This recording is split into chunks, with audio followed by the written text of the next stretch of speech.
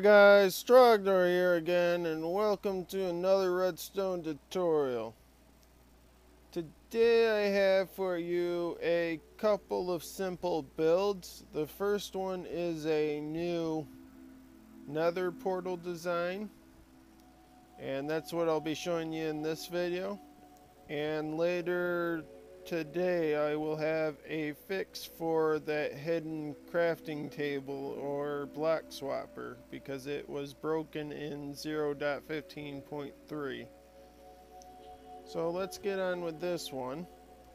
As you can see there is no redstone behind the portal. There is a couple components right here a couple dispensers and a lever. If we flip the lever it turns on. And if we flip it again it turns off.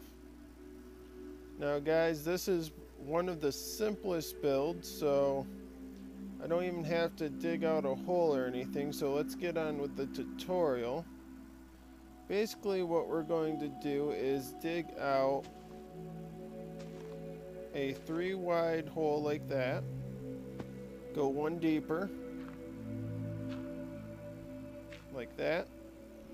And then on this side right here, these two blocks, dig those out and dig out the ones below those ones. So you have this shape right here.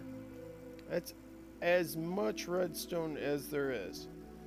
So as for what you'll need for this, you'll need 12 pieces of obsidian for your nether portal. You'll need two dispensers, three observers, one redstone repeater, two pieces of redstone dust, one sticky piston, your lever, a water bucket, and a flint and steel. And if you're building this in the nether, substitute the water bucket for a lava bucket. So now that we got this hole, we're going to come to this little edge right here that's cut out extra Uh, going to place a sticky piston right there facing that way. To come in front of it. To place a observer block, make sure the eyes facing towards the back. This part right here will be the front. You're to place a piece of redstone dust on the sticky piston. Go place a redstone dust right here and you're going to place a repeater right here on two ticks. Make sure that is on two ticks. Next, you're going to take your other two observers and place them here and here, facing straight up. Then we can go ahead and put our nether portal in. One, two. That will be the bottom two, and then you're going to go up four right here, four right here, and then we're going to connect those two. You could save two obsidian if you want to get rid of these two.